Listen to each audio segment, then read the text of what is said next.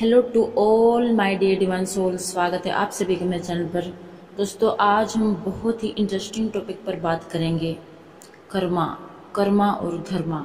सभी के मन में ये बात रहती है अक्सर कि कौन कौन से कर्मों से हमें क्या क्या मिलता है और क्या हमें करना चाहिए और किस तरीके से करना चाहिए और क्या नहीं करना चाहिए। कई बार ऐसा होता है कि बहुत सारे लोगों की लाइफ में इतनी सारी प्रॉब्लम होती है। वो ये सोचते हैं कि हमने तो इस जन्म में किसी का कुछ भी बुरा नहीं किया, फिर भी हमारे साथ इतना गलत क्यों हो रहा है? दोस्तों, ये बात नहीं है कि आपने सिर्फ़ यही जन्म लिया है। इससे पहले भी कितनी सदियाँ बीत चुकी हैं। उस टाइम पे भी आपने जन्म लिया था। हर इंसान धरती पर तभी आता है जब उसके कुछ ना कुछ अकाउंट रह जाते हैं या कुछ ना कुछ इच्छाएँ उसकी। रह जाती हैं। वही वो पूरे करने आता है। और कहीं ना कहीं अगर आप अपनी लाइफ में बहुत ज़्यादा स्ट्रगल फेस कर रहे हो किसी वजह से कोई चीज़ आपकी होनी चाहिए लेकिन वो आपको नहीं मिल रही कहीं ना कहीं उसके पीछे कर्मा है। आपके कर्मों का अकाउंट कहीं ना कहीं उस चीज़ से भरा हुआ है जो आपने किसी को वो चीज़ आपने नहीं दी या आपने पे नहीं किया जिसका जो भी आ, होता है। वो मैं आगे बात करूँगी। तो इसका ये होता है कि दोस्तों, कर्मा बहुत इम्पोर्टेंट रोल प्ले करता है हमारी लाइफ में। कर्मा और धर्मा, यानी हमें कर्मों से, धर्म के कार्य करने चाहिए। यानी ये होता है कि कईयों को आपने देखा होगा कि कई लोगों की ये शिकायत होती है कि कई लोग ऐसे होते हैं कि उनको कुछ भी नहीं करना पड़ता और उनको स्टेप बाय स्टेप सब कुछ मिल जाता है और उनकी लाइफ में कुछ भी प्रॉब्लम नहीं होती, उनको सब कुछ बहुत अच्छे मिलता है। दोस्तों, उन्होंने पिछली लाइफ में बहुत अच्छे कर्मा किए होते हैं और कहीं ना कहीं उन्होंने अपनी गलतियों को सुधारा होता है। और अगर आपको इस जन्म में ये पता लग चुका है कि हाँ कर्मा, अच्छे और बुरे कर्मों से क्या होता है और किस टाइप के कर्मा करने से क्या क्या होता है तो आप, बहुत अच्छी बात है। अगर आपको सही टाइम पर ये चीज़ समझ आ चुकी है आप उस स्टेज पर पहुँच चुके हो, इतने आप मैच्योर हो चुके हो कि आप अच्छे और बुरे कर्म में, अच्छे और बुरे कामों में आप अंदर को जान सको और जिससे आप उनको कर सको। तो ये बहुत अच्छी बात है कि आपको बहुत अच्छा मौका मिला है कि आप लाइफ के अकाउंट को अच्छे कर्मों से भरो। दोस्तों, जैसे एक बैंक का अकाउंट होता है ना, ऐसे ही होता है कर्मों का अकाउंट वो होता है भगवान के पास ऐड होता है, वो रिकॉर्ड सबका रिकॉर्ड आकाश में रिकॉर्ड होता है ओके वो आपको स्टोरी पता है, यमराज और धर्मराज जी सबका लेखा जोखा रखते हैं। वहाँ पर आप ये मत सोचना कि एक ही दुनिया है, पता नहीं कितने लोग हैं। वहाँ पर हमारे सभी कर्मों का हिसाब किताब होता है। फिर हमें एक एक चीज़ पूछी जाती है। अब तो वही तो एक कहावत है दोस्तों, कर्म करने को तू आज़ाद है और फल भोगने को तू लाचार है। कर्म तो हम कर देते हैं अच्छे या बुरे। लेकिन उनका फल तो हमें मिलना ही मिलना है। चाहे उसको रोकर झेलो या हंसकर झेलो वो मिलकर ही रहेगा। इसलिए तभी तो कहते हैं कि अपने कर्मों के अकाउंट को अच्छे कर्मों से भरो। आ, अच्छा फल भी मिलेगा और साथ में ब्याज भी मिलेगा। क्योंकि भगवान जो ये नेचर है प्रकृति है यूनिवर्स है ये कभी भी किसी का कुछ भी चीज़ नहीं रखती। जो आप इसको देते हो, किसी को भी आप देते हो, वही आपको वापस रिटर्न में ज़रूर मिलता है। ओके और, कईयों की लाइफ में इतनी प्रॉब्लम होती है कि वो एंड तक खत्म ही नहीं होती। उसी चक्रों में वो वो समझ ही नहीं पाती कि ये लाइफ उनको प्रिपरेशन के लिए मिली है, पश्चाताप करने के लिए मिली है। और उस चक्कर में वो और ज़्यादा बुरे कर्म करते चले जाते हैं, चले जाते हैं, जिससे लाइफ में अच्छे कर्मों का अकाउंट कहाँ से भरेगा? वो तो बुरे कर्मों का ही भरेगा ना, वो कहते हैं ना कि पाप का घड़ा भर गया। और कई बार दोस्तों ऐसा होता है कि कई लोग ना बेवजह किसी का बुरा करके जाते हैं। अरे आप किसी का अच्छा नहीं कर सकते तो किसी का बुरा भी मत करो, ये भी वही बात। अगर आप किसी का बुरा ही नहीं करोगे हाँ चलो ठीक है, आपकी सिचुएशन ऐसी है कि आप कुछ अच्छा नहीं कर सकते। तो किसी का बुरा भी मत करो। वो वो भी एक अच्छा ही कर्म अगर आप किसी का बुरा ही नहीं करोगे तो आपके अकाउंट में कहाँ से बुरे कर्म ऐड हो जाएँगे? आपके अकाउंट में तो अच्छे कर्म ऐड अप होंगे ओके तो ये होता है दोस्तों, हम ना एक, दोस्तों, बहुत डीप ये विज्ञान है। अगर हम एक चीटे को भी बेवजह मारते हैं जाने अनजाने में भी, उसके लिए माफ़ी मांगते हैं भगवान से। लेकिन अगर हम एक चीटी को भी मारते हैं तो उसका भी हमें फल मिलता है। और यहाँ तो हम इतने बड़े बड़े और किसी को कभी भी हर्ट नहीं करना चाहिए किसी को ऐसी बात नहीं बोलनी चाहिए, किसी की इंसल्ट नहीं करनी चाहिए, जैसे कोई कैसा भी हो। आप कुछ मत बोलो, आपको रिएक्ट करने की ज़रूरत हाँ जो उस चीज़ को समझे हाँ एक चीज़ होती है मज़ाक में, एक चीज़ होती है किसी की इंसल्ट करना।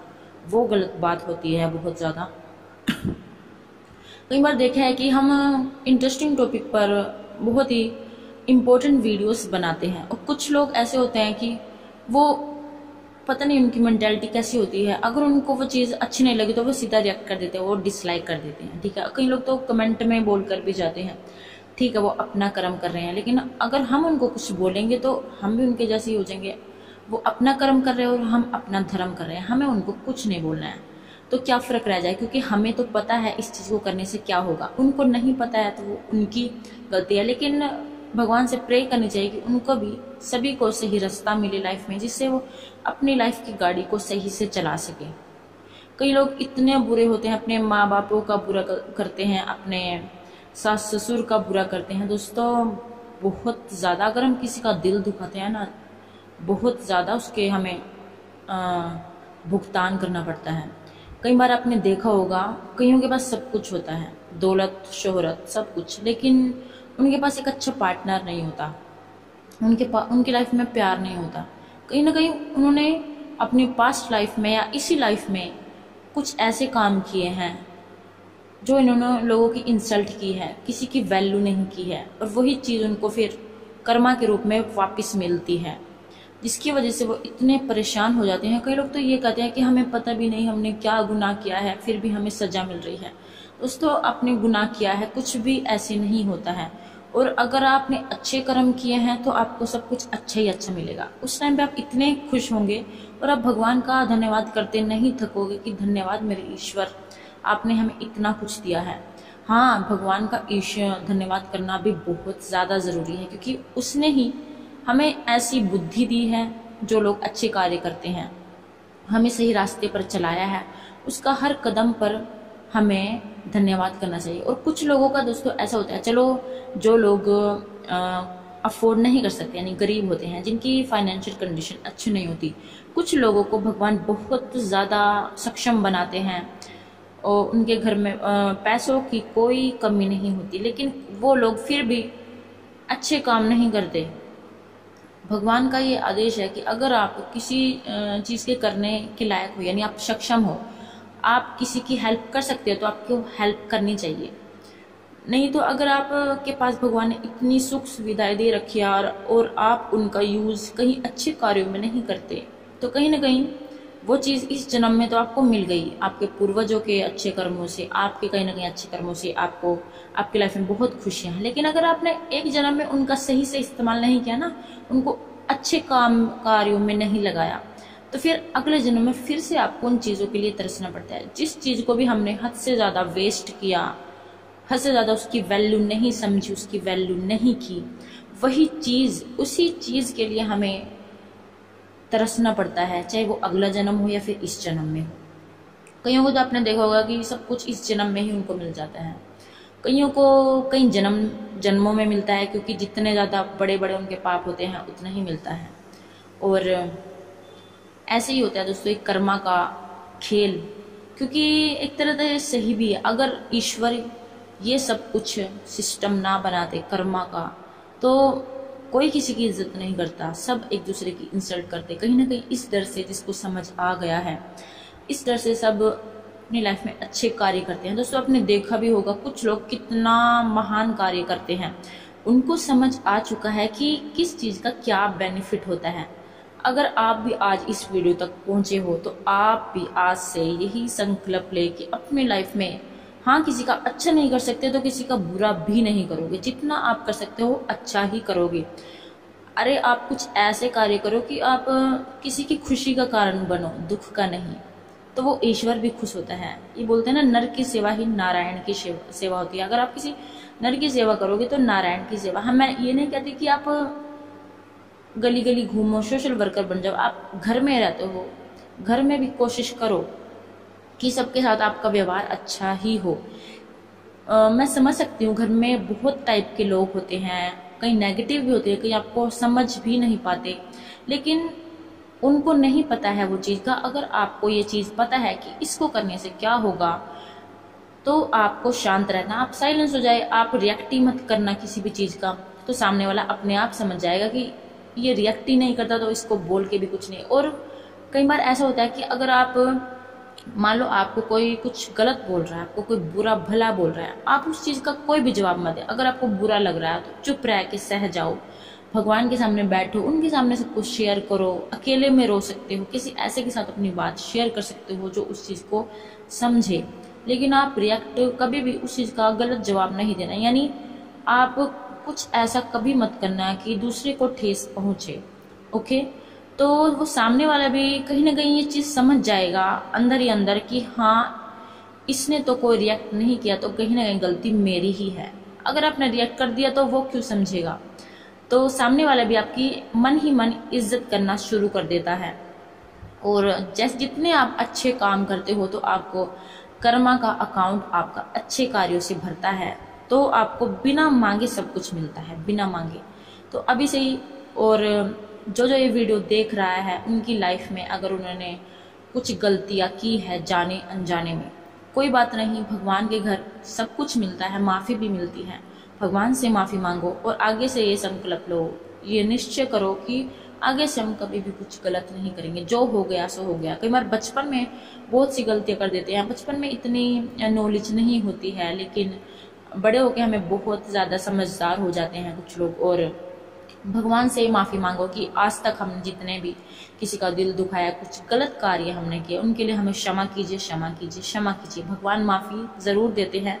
तपस्या करिए, भगवान की प्रेयर्स करिए और अच्छे कार्य करोगे ना तो वो बुरे कार्य भी आपके अपने आप खत्म हो जाते हैं, वो मिट जाते हैं अगर आप अच्छे कार्य करोगे। क्योंकि भगवान खुश होते हैं कि मेरे बच्चे समझ रहे हैं, मेरी सेना समझ रही है जो हाँ और दोस्तों, ये चीज़ वो ही लोग अंडरस्टैंड करेंगे जो कहीं ना कहीं भगवान से जुड़े हुए हैं। कहीं ना कहीं भगवान की रिस्पेक्ट करते हैं, इस दुनिया की रिस्पेक्ट करते हैं, इस प्रकृति की रिस्पेक्ट करते हैं, और कहीं ना कहीं जो समझदार है मैच्योर पर्सन है वही इस चीज़ को समझेंगे। लेकिन जिसको ये चीज़ समझ में नहीं आई, इसका मतलब उनका भी सही टाइम स्टार्ट नहीं हुआ है। अगर आप में से सभी, किसी को, यानी सभी को सभी को ये बात समझ में आ गई तो समझ लेना आपका आज से ही अच्छा टाइम स्टार्ट हो चुका है।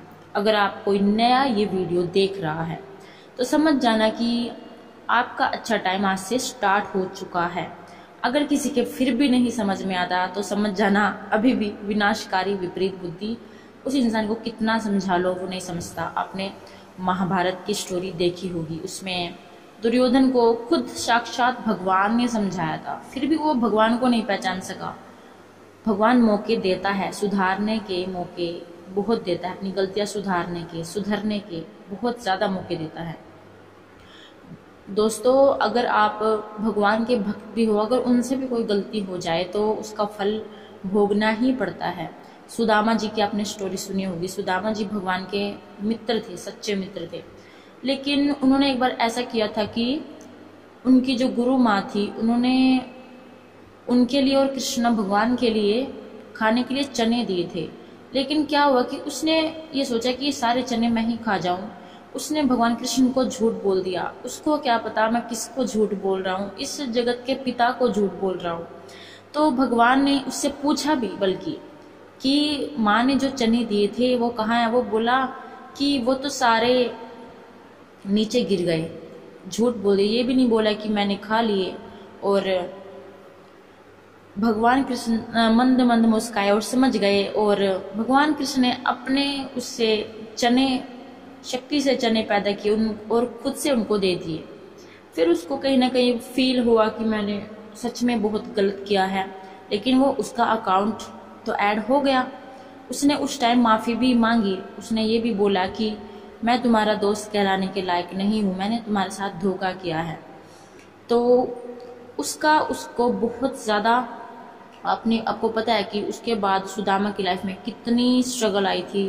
वो पूरी तरह से रंक बन गए थे, उनके पास खाने के लिए भी भोजन नहीं होता था। और उसके बाद एक बार और उन्होंने गलती की थी कि एक गलती कर दी, उसके बाद उन्होंने फिर से गलती की। उन्होंने गलती की जो भगवान कृष्ण और वो सभी उनके सखा भिक्षा मांगने के लिए जाते थे। तो उन्होंने क्या किया?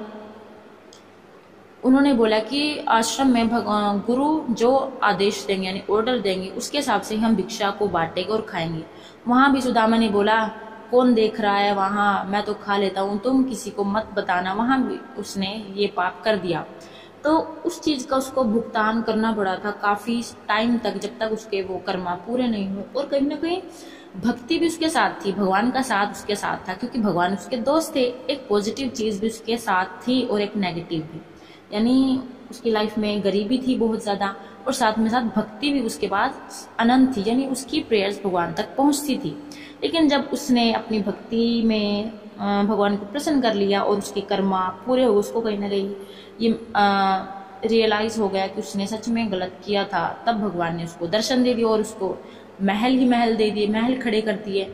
तो ये होता है दोस्तों, अगर हम भगवान से माफ़ी मांगते हैं तो भगवान माफ़ भी करते हैं।